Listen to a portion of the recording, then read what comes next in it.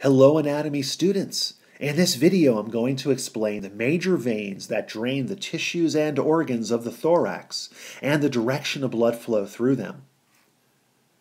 The internal jugular veins begin at the base of the cranium and receive blood from numerous veins and sinuses of the face and neck.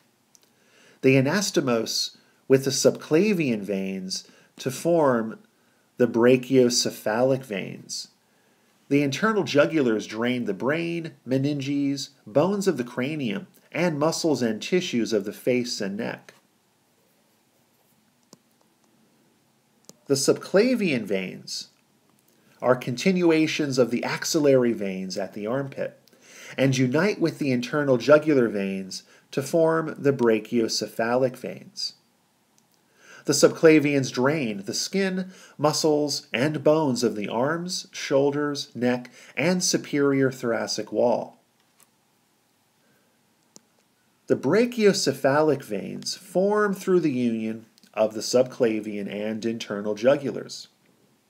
The brachiocephalics drain into the superior vena cava, which delivers blood into the right atrium of the heart.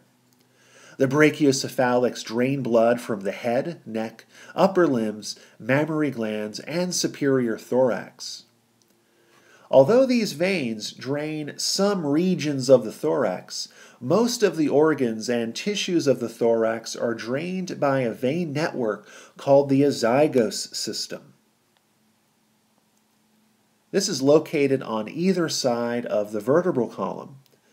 The veins in this system also serve as a bypass network, rerouting blood from the lower body into the superior vena cava if the inferior vena cava or hepatic portal vein become obstructed. The azygos vein is the major vein of the azygos system. It's an unpaired vein located anterior to the vertebral column, slightly to the right of the midline, beginning near the diaphragm. Its name, azygos, means unpaired or without a twin.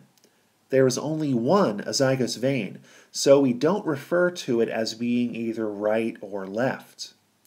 It curves over the roots of the right lung at the level of the fourth thoracic vertebra to empty into the superior vena cava. The azygos receives blood from many tributaries, including the right subcostal vein, which runs just below the 12th rib.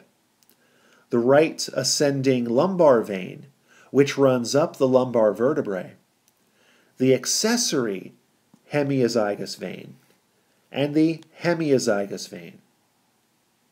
It drains blood from the right side of the thoracic wall, thoracic viscera, and posterior abdominal wall.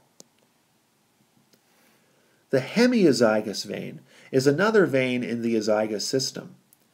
Like the azygos, it is unpaired and located anterior to the vertebral column, but it is slightly to the left of the midline. It joins the azygos near the ninth thoracic vertebra and receives blood from several tributaries, including the left subcostal vein and left ascending lumbar vein. It drains the left side of the lower thoracic wall thoracic viscera, and left posterior abdominal wall. The final major vein of the azygos system is the accessory hemiazygos vein. It's also unpaired and located anterior to the vertebral column and to the left of the midline, like the hemiazygos. It originates at the fourth or fifth intercostal space between the ribs and then descends along the thoracic vertebra to empty into the azygos vein in the area of the eighth thoracic vertebra. It drains blood from the left side of the upper thoracic wall and thoracic vertebra.